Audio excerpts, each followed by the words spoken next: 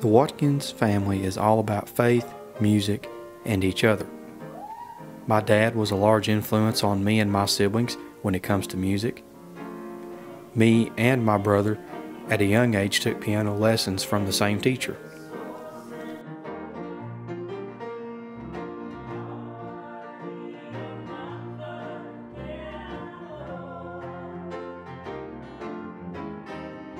Just about everyone in my family is musical, and it all stems back to my dad and his influences.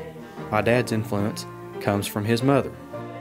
You know, I guess uh, speaking of our family and music, musical aspect, you know, we really can trace our roots back to my mom, Mavis Watkins, because um, she always hummed, and I think all of us probably heard her hum. She hummed, I'm sure, when we uh, her children were in her belly. So she taught us to have a musical ear when we were little.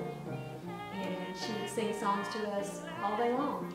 She'd just be going along and start singing songs. So I think probably my mom is, is the matriarch of the music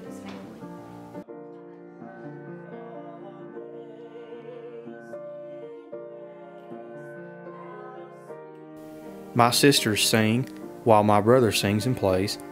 I play the piano and the bass guitar. Music in my family keeps us grounded in our faith and helps us have fun together and grow as a family.